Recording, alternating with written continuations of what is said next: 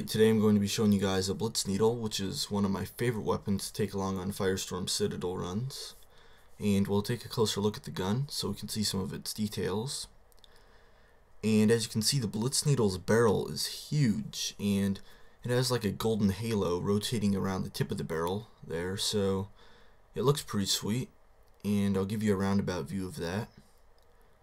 And the handle to the gun is just dwarfed in size compared to the barrel.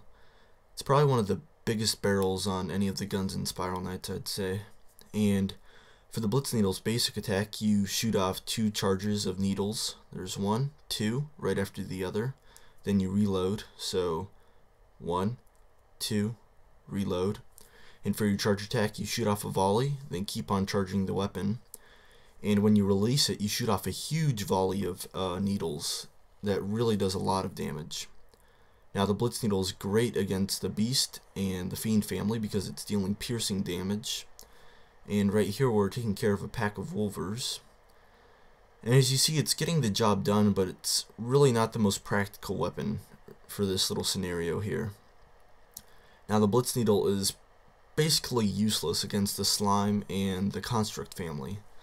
And right here we're in the Jelly Palace and the Blitz Needle is basically like the worst weapon you could ever bring to the Jelly Palace because right here, I think, yeah, we're only dealing 10 damage with each needle shot. But the Blitz Needle is known the best for its usefulness on Firestorm Citadel runs. And it's basically an essential for these runs because right here we have some Trojans, and with one charge attack we took out that guy. Then we fake this guy out, and then just come around and just one more charge attack and it takes him out.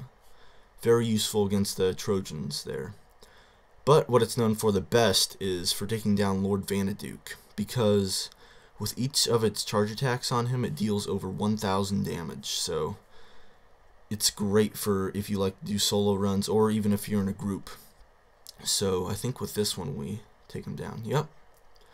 So it's basically the best weapon you can bring on a Firestorm Citadel run besides a good sword and maybe a Shiver Mist.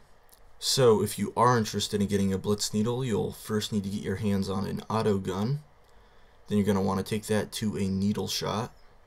And you can take your needle shot to a strike needle. Then you can take your strike needle to a Blitz Needle. And thanks for watching guys, I really appreciate the views.